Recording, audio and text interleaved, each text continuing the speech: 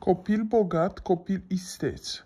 Startul financiar în viață. Robert Kiyosaki Introducere De ce nu vă cere bancherul foaia matricolă? Educația este astăzi mai importantă ca oricând. Pe măsură ce lăsăm în urmă era industrială și intrăm în era informației, valoarea educației cuiva continuă să crească. Întrebarea prezentului este dacă învățătura primită de dumneavoastră sau de copilul dumneavoastră în școală este adecvată pentru a face față provocărilor acestei lumi noi care se deschide în fața noastră. În era industrială îți puteai începe cariera după absolvirea școlii. În general, nu aveai nevoie de cunoștințe suplimentare pentru a reuși în viață, pentru simplul motiv că lucrurile nu se schimbau atât de repede. Cu alte cuvinte, învățătura primită în școală îți ajungea pentru toată viața. Totuși, cu milioane de oameni născuți în perioada exploziei demografice, se apropie astăzi de vârsta pensionării, mulți își dau seama că nu au primit o învățătură adecvată pentru noua lume cu care se confruntă. Pentru prima dată în istorie, mulți oameni bine instruiți întâmpină aceleași dificultăți economice ca aceia mai puțin școliți și se găsesc frecvent în situația de a se instrui suplimentar pentru a face față cerințelor curente ale postului pe care îl ocupă. Când măsura succesul învățăturii? Când măsura succesul învățăturii dumneavoastră? Prin foaia matricolă pe care o obțineți în ziua în care terminați studiile, să zicem la 25 de ani, sau măsurați eficiența învățăturii când vă pensionați, să zicem, la vârsta de 65 de ani. Conform unui studiu guvernamental, din fiecare 100 de persoane născute cu 65 de ani în urmă, una este bogată, 4 sunt relativ înstărite, 5 încă lucrează, 56 au nevoie de sprijin de la stat sau din partea familiei, iar restul au murit. Nu despre cum să devii acea unică persoană bogată tratează cartea de față. Cele 56 de persoane care au nevoie de ajutorul altora mă preocupă. Nu vreau ca dumneavoastră sau copilul dumneavoastră să ajungeți printre ele. Oamenii îmi spun adeseori, nu voi avea nevoie de mulți bani la pensie pentru că atunci voi avea cheltuieli mai mici. Deși este adevărat că multe cheltuieli de trai se micșorează după pensionare, Există una care crește considerabil și anume aceea legată de îngrijirea sănătății. Cheltuielile pentru vârstnici sunt pur și simplu prea mari. Peste câțiva ani va fi limpede că îngrijirea sănătății va deveni efectiv o chestiune de viață și de moarte pentru milioane de oameni în vârstă. Cu alte cuvinte, dacă ai bani, poți să trăiești, dacă nu ai bani, poți să mori. Întrebarea este dacă acești cetățeni, acum vârstnici, au fost instruiți în școală să poată face față provocării financiare de la sfârșitul vieții. Următoarea întrebare ar fi, care este legătura dintre situația bătrânilor și instruirea copilului dumneavoastră? Există două răspunsuri la aceste două întrebări. Primul răspuns este că tinerii, printre care se va număra și copilul dumneavoastră, vor fi cei care vor plăti în final pentru îngrijirea sănătății milioanelor de bătrâni ce nu pot plăti singuri. Al doilea răspuns este o întrebare. Educația copiilor dumneavoastră îi va pregăti să fie asigurați din punct de vedere financiar, astfel încât după pensionare să nu aibă nevoie de ajutorul medical și financiar al guvernului? Regulile s-au schimbat. În era industrială, regula era să mergi la școală, să iei note bune, să-ți găsești o slujbă sigură și bună să o păstrezi toată viața. După vreo 20 de ani te pensionai, iar compania și statul aveau grijă de tine pentru tot restul vieții tale. În era informației, regulile s-au schimbat. Acum trebuie să mergi la școală, să iei note bune, să-ți găsești o slujbă și apoi să te reinstruiești pentru acea slujbă. Să găsești o nouă companie, o nouă slujbă și să te reinstruiești să găsești o altă companie, o altă slujbă, să te reinstruiești și să speri să te rogi că vei avea destui bani puși deoparte, care să-ți ajungă multă vreme după vârsta de 65 de ani, pentru că vei trăi mai mult de atât. În era industrială, teoria definitorie a epocii este formula lui Einstein. E egal metru pătrat. În era informației, teoria definitorie este legea lui Moore, care a dat naștere ideologiei curente, conform căreia cantitatea de informații se dublează la fiecare 18 luni. Cu alte cuvinte, pentru a ține pasul cu schimbarea, trebuie să reînveți totul la fiecare 18 luni. În era industrială, schimbarea era mai lentă. Ceea ce învățai la școală era valabil pentru o perioadă lungă. În era informației, ceea ce știi iese foarte repede din actualitate. Ceea ce ai învățat este important, dar nu la fel de important este ca repeziciunea cu care poți să înveți, să te transformi și să te adaptezi la noile informații. Ambii mei părinți au crescut în timpul marii crize. Pentru ei, siguranța locului de muncă însemna totul, motiv pentru care exista întotdeauna ceva panică în glasul celor care spuneau trebuie să te duci la școală ca să poți obține o slujbă sigură. Problema este să nu rămâi în urmă din cauza că ai ajuns să nu mai corespunzi lucrând în slujba curentă. Alte diferențe subtile, dar semnificative, între ere. În era industrială, angajatorul era responsabil pentru planul de pensie. În era informației, angajatorul este cel responsabil. Dacă rămâi fără bani după vârsta de 65 de ani, este problema ta, nu-i problema companiei.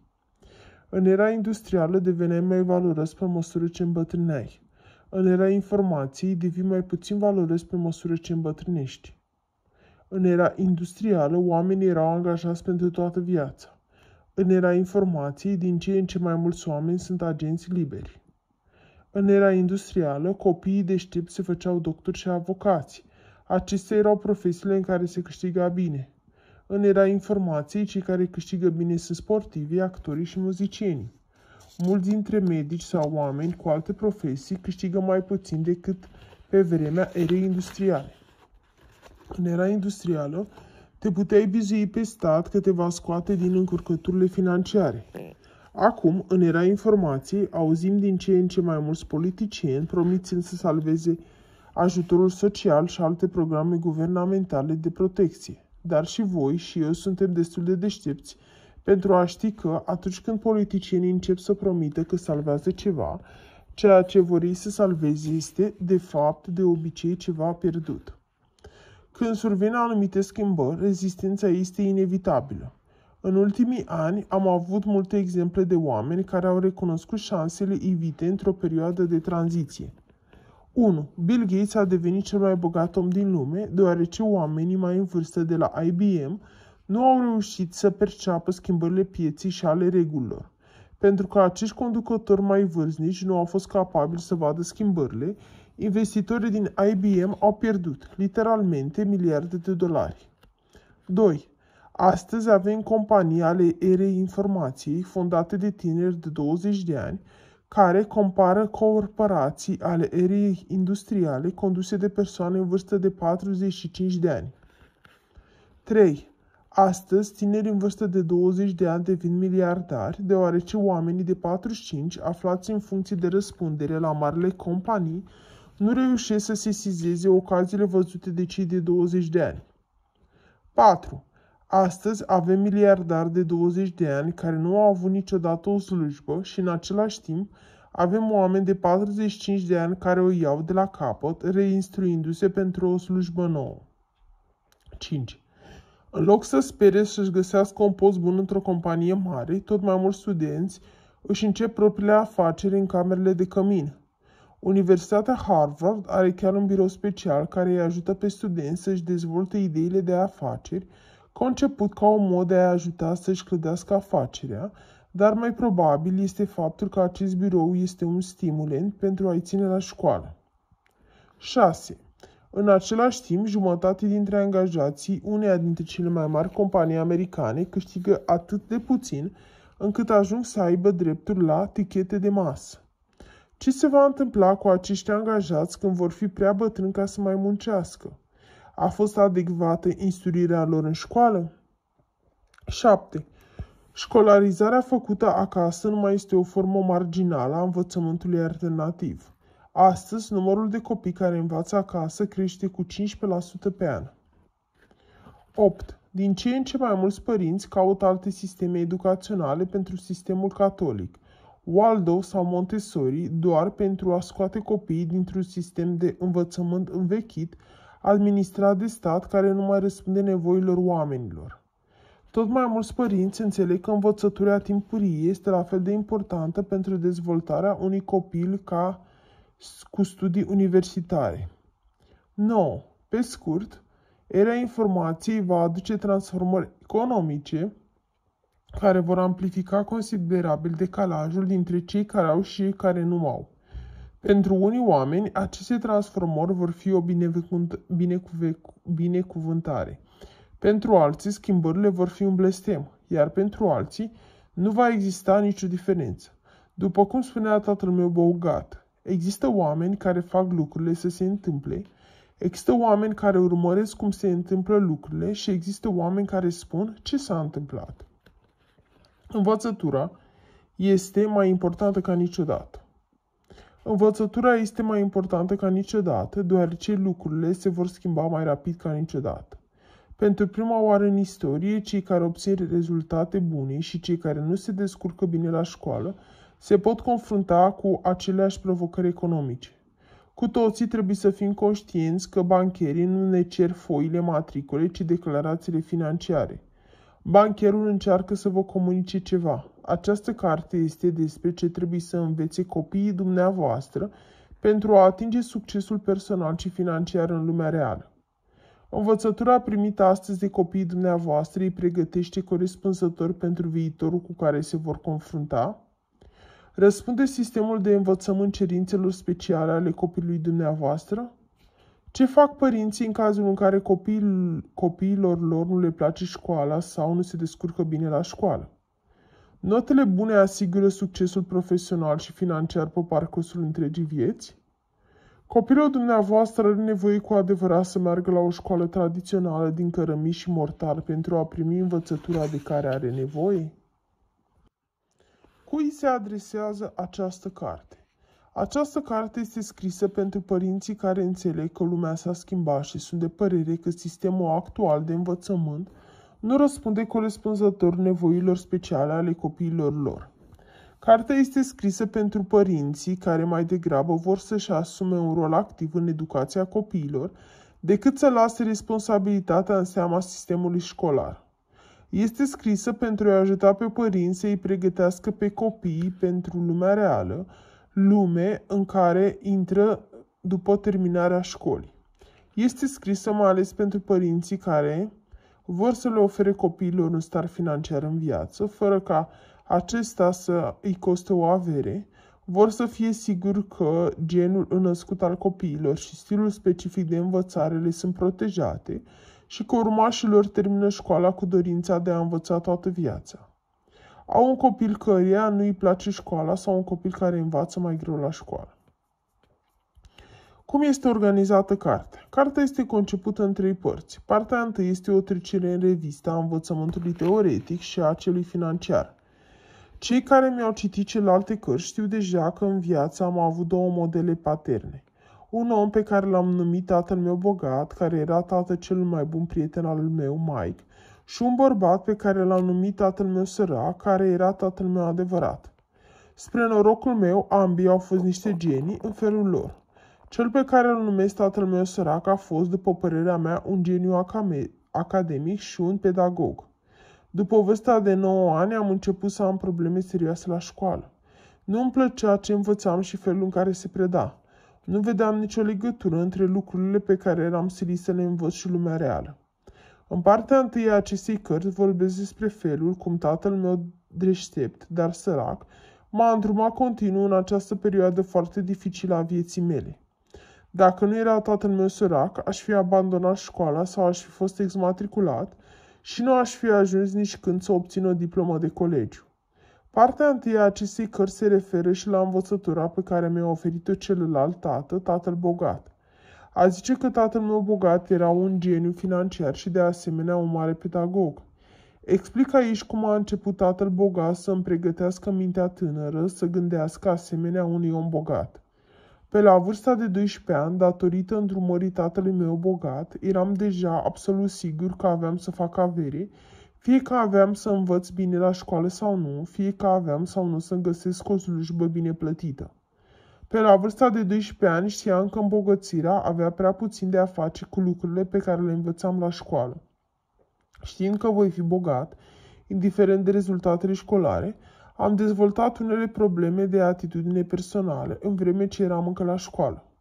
Partea a doua a acestei cărți vorbește despre cum ambii mei tați s-au străduit să îmi păstreze sub control aceste probleme de atitudine și m-au îndrumat, astfel încât mi-am putut termina facultatea.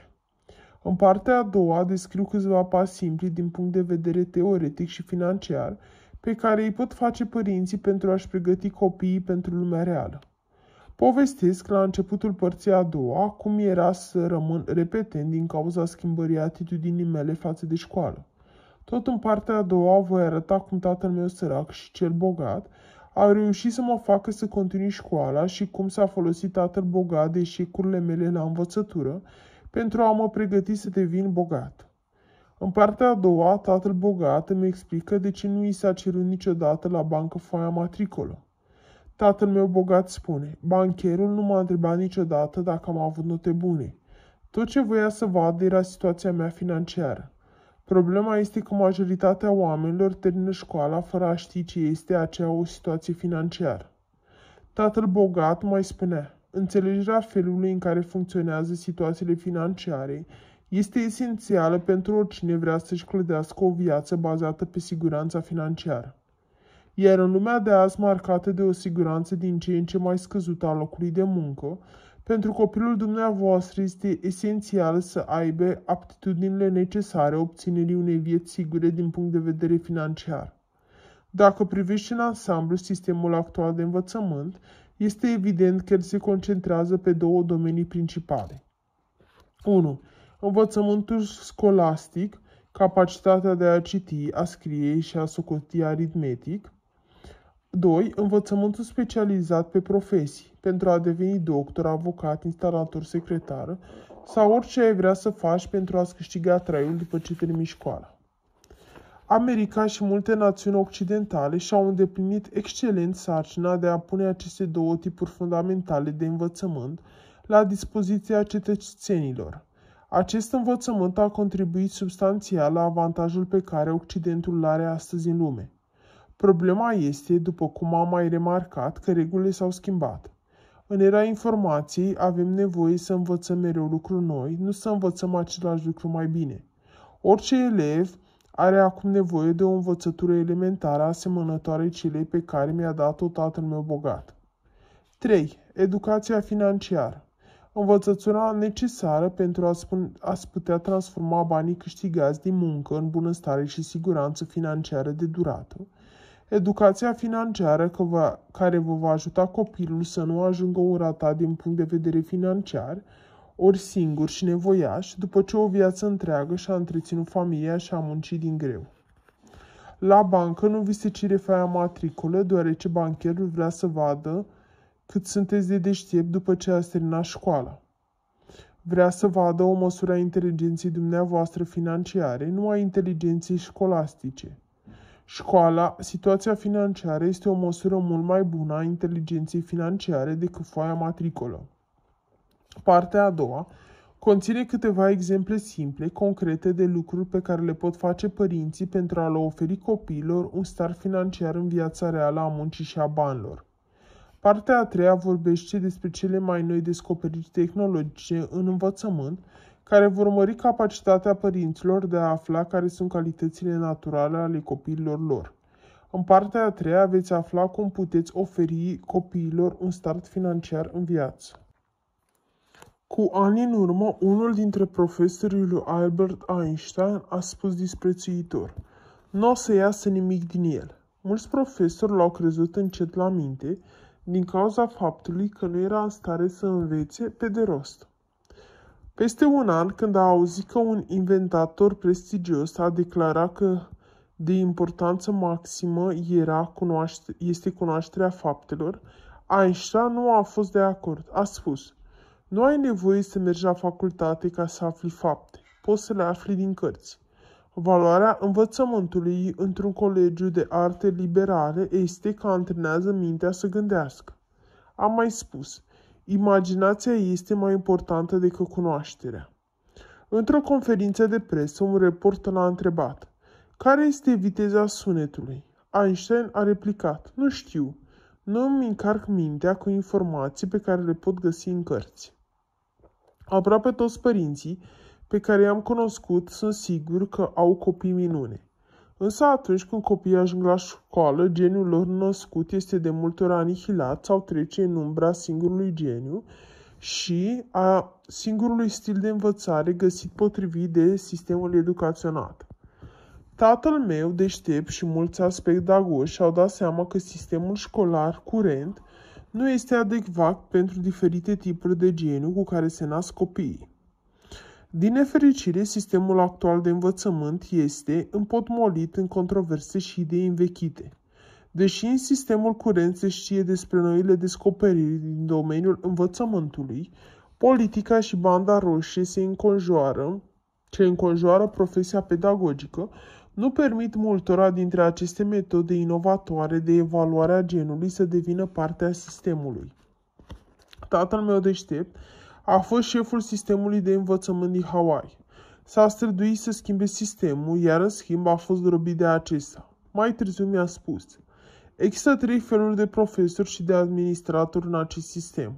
Un grup își dă silința să schimbe sistemul, celălalt grup acționează ferm împotriva oricărui fel de schimbare, iar cel de-al treilea grup nu-i pasă dacă sistemul se schimbă sau nu. Cei din acest grup nu își doresc decât o slujbă sigură și să-și primească salariu. Și de aceea sistemul a rămas neschimbat de atât de multă vreme. În concluzie, tatăl meu deștept spunea adesea, cei mai importanți profesori ai unui copil sunt părinții lui. Mulți părinți le spun copiilor, du-te la școală și învață bine. O învățătură bună contează foarte mult. Problema este că mulți părinți care spun aceste cuvinte nu se ocupă ei înșiși de învățătura copiilor. Tatăl meu, deștept, mai spunea Părinții sunt cei mai importanți profesori ai copilului, dar elevii învață mai mult văzând decât ascultând. Copiii se sizează imediat diferențele dintre vorbe și fapte. Copiilor le place să-și prindă părinții spunând una și făcând alta. Tatăl meu bogat obișnuia să spună, faptele tale vorbesc mai tare decât vorbele. Mai spunea, dacă vrei să fii un părinte bun, trebuie să te impui prin exemplul personal. Dacă aveți copii, vă mulțumesc pentru faptul că vă interesează învățătura copilor dumneavoastră și o carte despre învățătură. Partea 1. Banii sunt o idee. Când eram mic, tatăl meu bogat îmi spunea adesea, banii sunt o idee, continua zicând, banii pot fi tot ce vrei tu să fie. Dacă spui, nu voi fi niciodată bogat, ai toate șansele să nu devii nici când bogat. Dacă spui, nu pot permite, probabil că nici nu vei putea. Tatăl meu deștept spunea cam același lucru despre învățătură. Este posibil ca toți copiii să vină pe lume cu potențialul de a fi deștepți și bogați? Unii oameni așa cred, iar alții sunt de altă părere. În prima parte a acestei cărți îmi propun să vă ajut să vă feriți copilul de această ultimă posibilitate. Capitolul 1. Toți copiii se nasc bogați și isteți. Ambii mei tați au fost niște profesori grozavi. Amândoi erau deștepți. Dar nu erau deștepți în același domenii și nu predau aceleași lucruri. Deși se deosebeau mult, amândoi credeau același lucruri despre toți copiii. Amândoi erau încredințați că toți copiii se nasc deștepți și că toți copiii se nasc bogați. Amândoi credeau că un copil învață să fie sărac și învață să creadă că este mai puțin deștept decât alți copii. Ambii mei tați au fost profesori grozavi, fiindcă au crezut în scoaterea la lumina a geniului cu care se naște fiecare copil. Cu alte cuvinte, ei considerau că nu este nevoie să introduci cunoașterea în mintea cuiva, ci să scoți geniul la lumină. Cuvântul educație vine din latinescul educare, a extrage. Din nefericire pentru mulți dintre noi, educația a însemnat ședințe lungi și dureroase, în care ni se îndesau un cap frânturi de informații, memorarea lor pentru examene, luarea examenelor și uitarea a tot ceea ce de-abia învățaserăm. Ambii mei părinți au fost profesori grozavi, pentru că rareori au încercat să-mi impună cu forța ideile lor. Adeseori spuneau foarte puțin, așteptând în schimb întrebările mele dacă vreau să aflu ceva. Ori îmi puneau întrebări, căutând să vadă ce știu, în loc să îmi comunice pur și simplu ce știau ei. Ambii mei tați au fost profesori grozavi și îi consider cel mai, cele mai mari binecuvântări ale vieții mele. Dar să nu uit mamele. Mama mea a fost o mare profesoară și mi-a fost model în, va- în viață. M-a învățat ce înseamnă dragostea necondiționată, bunătatea și cât de important este să spese de alți oameni. Din păcate, mama a murit tânără la 48 de ani. Fusese bolnavă mare parte din viață, luptându-se cu o inimă slăbită de reumatismul contractat în copilărie.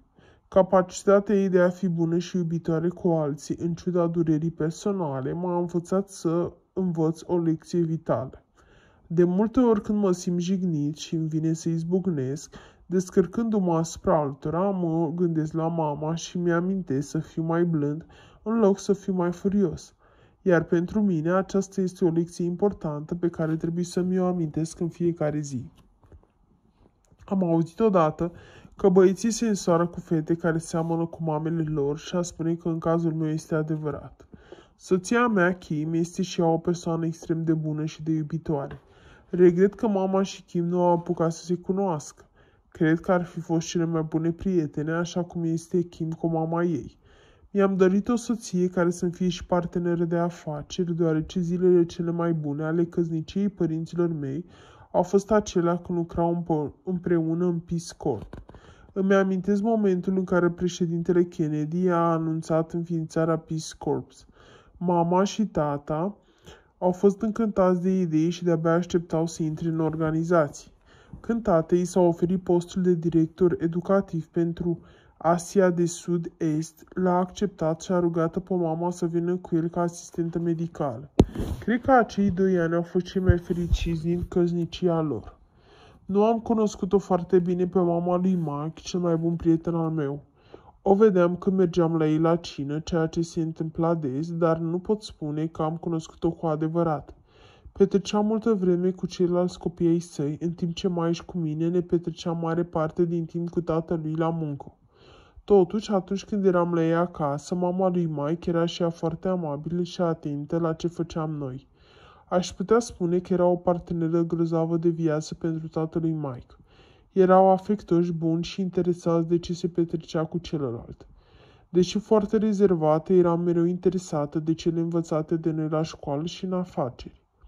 Așadar, deși nu am cunoscut-o prea bine, am învățat de la ea cât este de important să-i asculți pe ceilalți, să-i las să vorbească, să le respecti ideile, chiar dacă nu se potrivesc cu ale tale.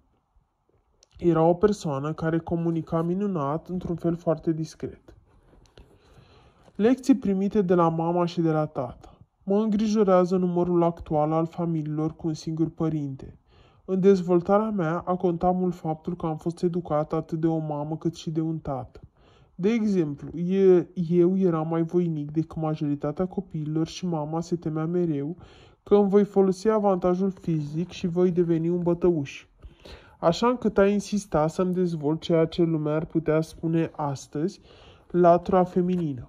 După cum am mai spus, mama era o persoană foarte bună și iubitoare și voia ca și eu să fiu bun și iubitor. Și am fost. Pe când eram în clasa întâi, într-o zi am venit acasă cu următoarea notiță din partea învățătoarei pe carnetul de note. Robert trebuie să învețe să se impună mai mult. Îmi amintește de taurul Ferdinand din povestea despre un taur masiv în care, în loc să se lupte cu toreadorul, se tolănea în mijlocul arenei și mirosea florile aruncate de admiratori. Întâmplător, aceasta era una dintre poveștile favorite ale mamei pe care mi le citea înainte de culcare. Toți băieții se uitau la el și îl bruscau, deși Robert e cel mai voinic dintre toți. Când mama a citit observația, a fost consternată, dar când a venit tata acasă și a citit și el, s-a transformat într-un taur furios și nu într-unul din aceia care miros flori. Cum adică te bruschează toți băieții? Tu de ce îi lași? Ai de gând să devii un papă lapte?" a spus el, intrigat mai degrabă de comentariul asupra comportamentului meu decât de note. Când i-am explicat că nu făcusem decât să respect instrucțiunile mamei, tata s-a întors spre ea și a spus Băieții sunt bătăuși. Pentru toți copiii este important să învețe cum se descurce cu bătăușii. Dacă nu învață asta de vreme, de multe ori se întâmplă să se lase intimidați și în viața adultă. Cu bunătatea poți încerca să-i ții la distanță pe bătăuși, e o metodă, dar trebuie să știi să dai și tu atunci când nu merge cu bunătate. Întorcându-se către mine, tata m-a întrebat. Și tu cum te simți când se iau băieții de tine? Izbucnind în lacrimi, m-am spus. Mă simt îngrozitor, mă simt neajutorat și speriat. Nu vreau să mă duc la școală, vreau să mă bat cu ei când mă provoacă, dar vreau să fiu și un băiat bun și să mă port așa cum mă învățați voi. E groaznic că mă strigă grasule și Dumbo și mă lovesc. Ce ură cel mai tare este că nu pot riposta. Mă simt ca un fătălău și un papă lapte. Până și fetele râd de mine când mă văd cum stau degeaba și plâng. Tata s-a întors către mama și a fulgerat o clipă cu privirea, dându-i de înțeles că nu-i plăcea ce auzea. Așadar, ce ai vrea să faci?" m-a întrebat. Să le întorc loviturile, am spus. Știu că i-aș putea bate. Nu sunt decât niște derbedei mici care se iau de toți și le place să ia de mine pentru că sunt cel mai voinic din clasă. Toată lumea zice că nu-i lovesc pentru că sunt mai mare, dar pentru mine e îngrăsitor să stau degeaba și să suport.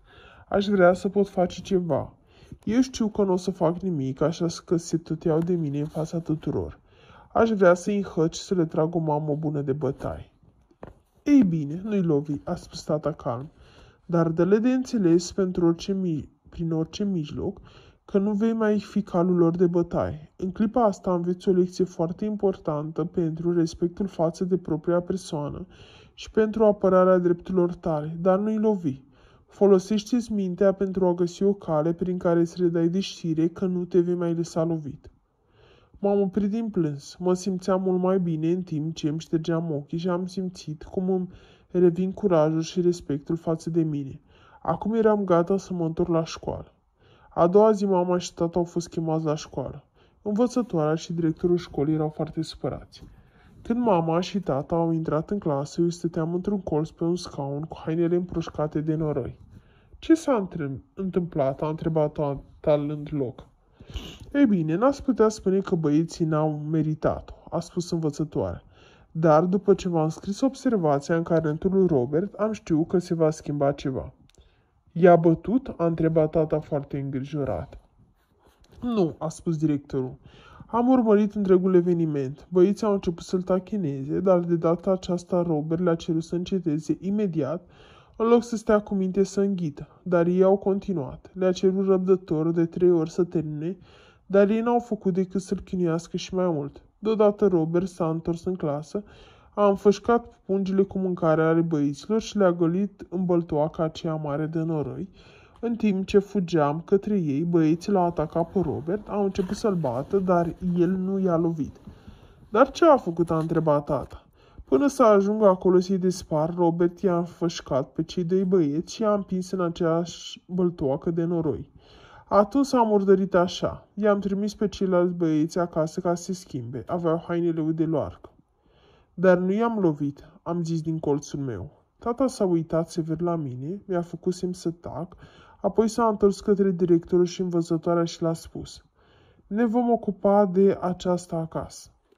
Directorul și învățătoarea au încuvințat cu o mișcare din cap, iar învățătoarea a spus Mă bucur că am fost martorul la desfășurarea întregului eveniment în ultimele două luni, dar nu aș fi cunoscut povestea care a condus la întâmplarea cu noroiul, dacă nu aș fi cunoscut povestea care a condus la întâmplarea cu noroiul, l-aș fi mustrat doar pe Robert dar puteți fi sigur că îi voi chema la o discuție și pe părinții celorlalți doi băieți. Nu sunt de acord cu aruncarea colegilor și a pachetelor lor în noroi, dar sper că acum vom vedea cum toate frecuș... frecușirile dintre băieți au luat sfârșit. A doua zi, am avut o discuție cu cei doi băieți. Am vorbit despre neînțelegerile dintre noi și ne-am dat mâna. În recreație, alți copii au venit la mine și mi-au strâns mâna și m-au bătut pe spate. Mă felicitau pentru că le rezistasem celor doi bătăuși care se luau și de ei. Le-am mulțumit pentru felicitări, dar le-am spus, ar trebui să învățați să vă purtați propriile lupte. Dacă nu o faceți, o să treceți prin viață ca niște lași, lăsându-vă învinși de și lumii. Tata ar fi fost mândru dacă m-ar fi auzit repetându-i predica. După acea zi, clasa întâi a fost mult mai plăcută. Câștigasem o prețioasă încredere în mine. Respect din partea colegilor și cea mai drăguță fată din clasă mi-a devenit prietenă. Dar cel mai interesant a fost faptul că și cei doi bătăuși mi-au devenit în cele din urmă prieteni. Am învățat să aduc pace prin puterea mea și să nu las groaza și teama să persiste în virtutea slăbiciunii mele. Pe parcursul săptămânii care a urmat, ca urmare a incidentului cu noroiul, am învățat câteva lecții de viață prețioase, atât de la mama cât și de la tata. Subiectul a fost dezbătut aprins la fiecare cină. Am învățat că în viață nu există un răspuns corect sau un răspuns greșit. Am învățat că în viață tindem să facem alegeri și că fiecare alegere are o anume consecință. Dacă nu ne place ce am ales și consecința alegerii noastre, trebuie să facem o altă alegere ce va avea o nouă consecință. După incidentul cu noroiul, am învățat de la mama că este important să fii bun și iubitor, iar de la tata că este bine să fii puternic și pregătit să ripostezi în cazul unei provocări. Am învățat că accentuarea unui singur aspect din cele anterioare în detrimentul celuilalt te poate face să devii limitat. La fel cum prea multă apă poate neca o plantă care stă să se usuce, noi oamenii putem înclina adeseori prea mult într-o direcție sau alta. După cum remarca tata în seara în care ne-am întors de la întrevederea cu directorul, mulți oameni văd lumea în alb și negru sau în bine și rău. Mulți te-ar fi sfătuit. Nu le răspunde niciodată la provocări, iar alții ar fi zis bate și tu. Dar cheia succesului în viață este aceasta. Dacă trebuie să ripostezi, trebuie să știi exact cu ce se măsură. Cu ce măsură? Ca să știi exact unde anume poți să mergi, ai nevoie de mai multă inteligență decât pentru a spune nu-i bate sau bate și tu. Tata spunea adeseori, adevărata inteligență este să știi ce este potrivit mai curând decât ceea ce este pur și simplu bine sau rău. La cei șase ani ai mei am învățat de la mama că trebuie să fiu bun și iubitor, dar am învățat și că aș putea fi prea bun și iubitor. De la tata am învățat să fiu puternic, dar și că trebuie să îmi folosesc puterea cu inteligență și bun simț. Am spus de multe ori că o monedă are două fețe. Nu am văzut niciodată o monedă cu o singură față, dar prea adesea uitam acest lucru. De atâtea ori ne gândim că fața pe care o vedem este singura față sau față bună. Poate că atunci când facem asta suntem deștepți, cunoaștem faptele, dar poate că în același timp ne limităm inteligența. Unul dintre profesorii mei a spus odată, Dumnezeu ne-a dat un picior drept și un picior stâng. Dumnezeu nu ne-a dat un picior drept și unul strâmb. Oamenii progresează făcând întâi o greșeală la dreapta, apoi una la stângă. Cei care cred că trebuie să aibă întotdeauna dreptate sunt oamenii care au doar piciorul drept. Ei cred că progresează, dar de obicei merg în cerc. Ca societate, cred că trebuie să fim mai chipzuiți cu puterile și cu slăbiciunile noastre. Trebuie să învățăm să ne folosim mai inteligent atât latura feminină cât și cea masculină. Îmi aduc aminte că dacă mă supăram pe vreun coleg prin anii 60, ne duceam în spatele sălii de sport și ne băteam cu pumni. După un pum sau doi treceam la trântă și oboseam și așa se termina lupta. Nu s-a întâmplat niciodată ceva mai rău decât o comașă ruptă sau un nas însângerat. Adeseori, după o astfel de luptă, deveneam prieteni. Astăzi, puștii se în furie încep să gândească în stilul bine-rău, mai puțin inteligent, îți scot armele și trag unul între altul și e valabil atât pentru băieți cât și pentru fete. Om fi noi în era informației și puștii ori fi mai scoși în lume decât părinții lor, dar am putea învăța cu toții să fim mai inteligenți cu informațiile și emoțiile noastre. După cum am spus, trebuie să învățăm și de la mamele și de la tații noștri, deoarece cu un volum atât de mare de informații trebuie să devenim mai inteligenți. Această carte este dedicată părinților care își doresc copii mai esteți, mai bogați și mai inteligenți din punct de vedere financiar.